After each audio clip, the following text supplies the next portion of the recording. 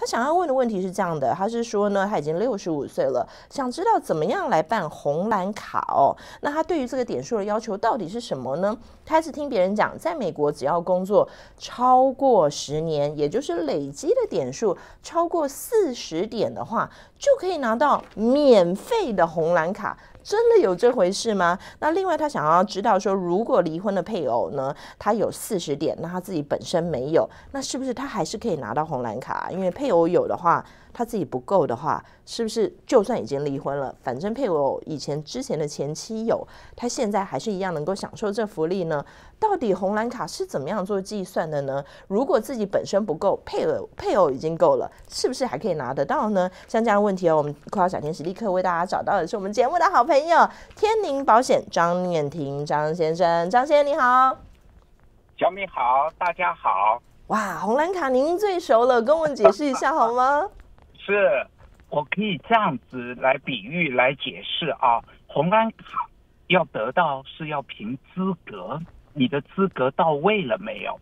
那你的条件是不是配合得上？也就是四十点，四十点就像小米刚刚讲的，你要在美国报税工作报税十年。一年四个点，十年不就四十个点吗？当然，你可能可工作了十八年、二十年没问题。那这个呢，有牵涉到你的退休社安金，然后也推也牵涉到你的红蓝卡。那红蓝卡呢，假如说你的点数不够，美国政府是用三十点来划分哦，你零点到三十点之间。你假如说是在这个范围的 A 部分，你每个月要付四百九十九元，我们要来又用钱来买。嗯，假如说你的点数是在三十到四十点，你一个月要花两百七十四元来买。OK，因为你原来报税的没有纳税，你可能是不管什么任何理由，你没有纳税，没有点数。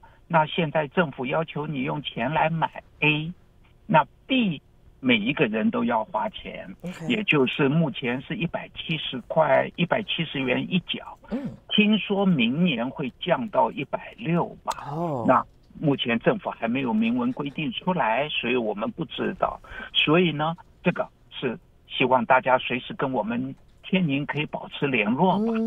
哎，我们有新的状况可以告诉大家。好的，还有他有提到离婚，对不对？是，这个配偶的呢是可以拿离婚了，你可以拿配偶的一半的福利。嗯，你的点数没有或者有缺陷不够，你配偶有完整的点数，你可以用他的福利一半的福利点数都可以有红蓝卡。但是有两个条件，你们以前报税的时候都是一起报税，嗯嗯，然后离婚了，任何一方没有再婚，哎，那这个就可以用到离婚的配偶的福利了。哦，任何一方都不能再婚啊，两方都不能再婚啊？对，你不能再婚，那。再婚的你就不是跟着新的配偶去拿福利 OK OK 是是是是哦，好不好？